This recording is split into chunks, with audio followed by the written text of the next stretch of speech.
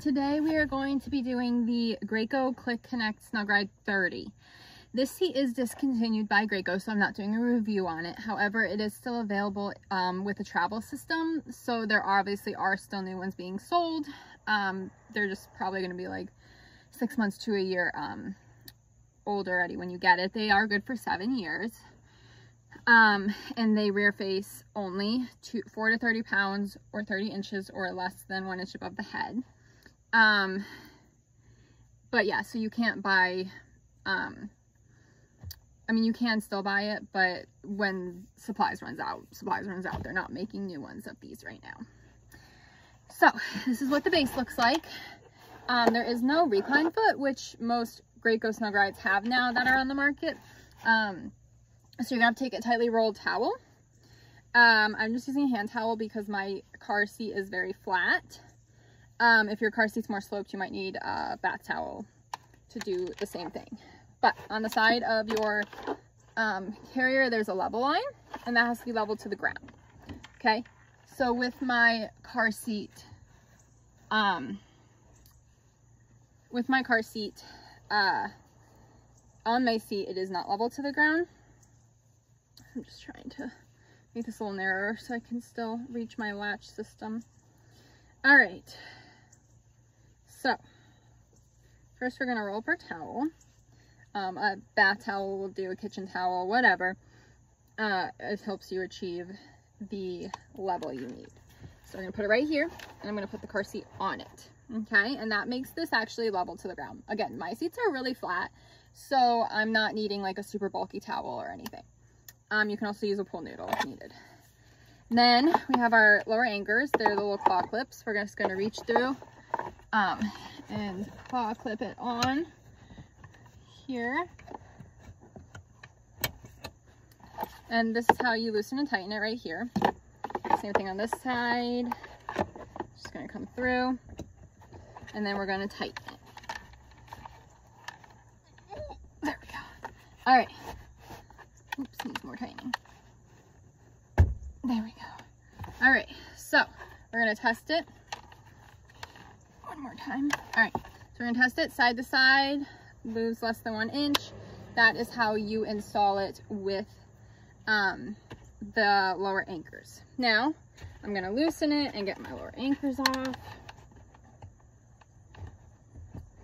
All right, give me one sec. There we go. All right. Now, I'm to store my lower anchors. Um, you're not to cut this strap or anything. You just keep your lower anchors here. You can keep your manual there.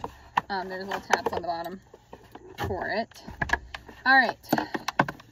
Also, your expiration date, I mean your manufacture date for your base is right here. Your car seat will also have one. So, to do the seatbelt install, I'm still going to use my towel to make sure that it's level to the ground. And I'm going to thread my seatbelt up through this hole across here and through that hole. It's going to sit kind of on the shelf right here. So we're to do that. And down and buckle. All right. I'm to get it up on the shelf where it needs to go and I'm going to tighten it. All right, so. All right, then I'm going to lock it. So pull it out, slowly let it in. Some cars lock down here at the latch plate. Just know how your car locks. Every car made in the United States after 1996 has locking seatbelts. It's the law. Um, so there's going to be a way to lock it somewhere. It might be a lap belt with a tightener in the middle. In um, older cars, uh, either way, there's going to be a way to lock your seatbelt. And you have to be able to lock your seatbelt to install the space. All right. So now that that's inside the side, front to back. We're gonna test it out.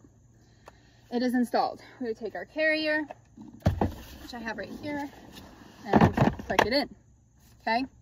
Test it, it clicked, we're good. Baby's in there, ready to go. Or you can just put baby in and tighten everything up, we're good. All right, now I'm going to take this out,